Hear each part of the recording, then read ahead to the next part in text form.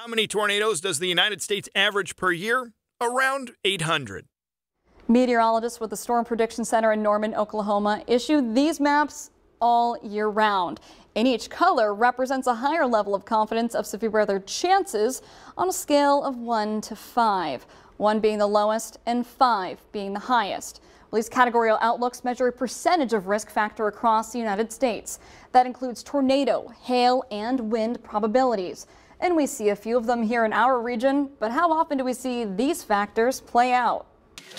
Understanding the weather in your region also means being aware of what risks come along with it.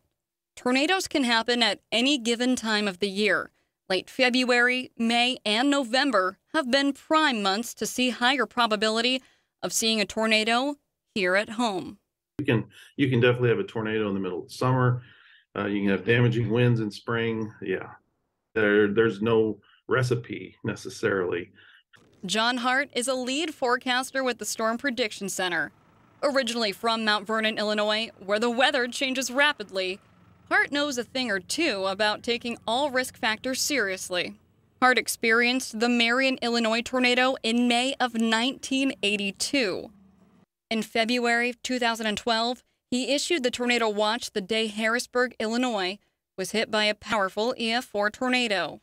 Tornadoes are are kind of the the uh, tip of the spear in terms of severe weather, and it's the worst kind. But uh, whether it be damaging winds, localized flash flooding, or river flooding, uh, or even very large hail events, which we don't see as much of in Illinois, but uh, every once in a while there'll be a, a big hailstorm.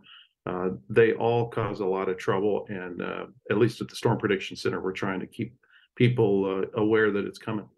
But we have other risks too. People don't realize the risk of pretty fast moving water flowing uh, across these roads and people drive into it but you always saw people trying you don't think about the risk you think oh it's it's not that bad well every once in a while it gets that bad and the next thing you know your car is being swept away and it's a really serious situation so what causes the most damage it varies by the magnitude flooding causes more death but wind causes more damage here at home, we see more wind and flooding events than we see tornadoes. But that doesn't mean you shouldn't prepare for one. In fact, you should be preparing for all modes of severe weather. Tornadoes spring, wind summer, and then flooding year round. Outdoor warning sirens like this one play an important role when it comes to severe weather. They've even been credited to saving countless lives. There is a lot, though, that you may not know when it comes to sirens.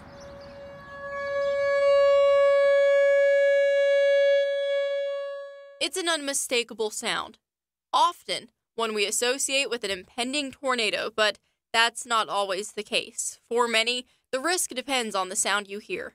For the city of Carbondale, the first is for attacks. So the attack siren is meant for uh, Department of Homeland Security to allow uh, emergency operations coordinators to let people know in case there's an emergent threat. The second and more familiar one inclement weather. So one is tornadoes, obviously, and then anything over, I think it's right around the threshold of 62 miles an hour of wind.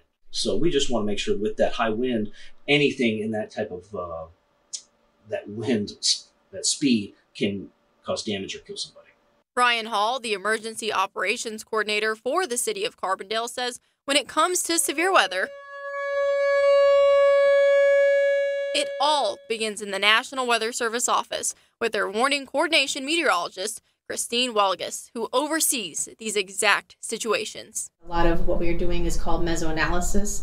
And so we're trying to figure out what the atmosphere is doing and trying to figure out when things are going to happen, how bad they may be, and making sure that we're messaging that out. Back in southern Illinois, Orville Rowe, coordinator emergency manager for Jackson County EMA, says although each area receives the same information, the way they respond differs. But typically, it's each jurisdiction will set off their own sirens to their whatever their uh, standard operating procedure would be for that.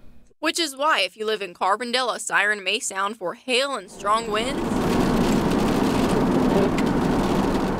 Compared to other towns that choose to only sound for tornadoes. But it's really for those who are outdoors. They were designed a long time ago to warn people who were outdoor workers, farmers, or people that worked outdoors, let them know, hey, something's going on. So sirens were never meant for people to be, you know, hearing them inside. Which makes having multiple ways to receive alerts even more important. While you shouldn't only rely on the outdoor warning sirens, Carbondale is busy working on making upgrades. These drawings were not correct back 20 years ago. Mm-hmm. So what we've done is we've redone the map to make sure we pick up these coverage area gaps. Mm-hmm. And that's just something we didn't know that we were missing. What is the longest tracking tornado ever recorded? The answer after this break.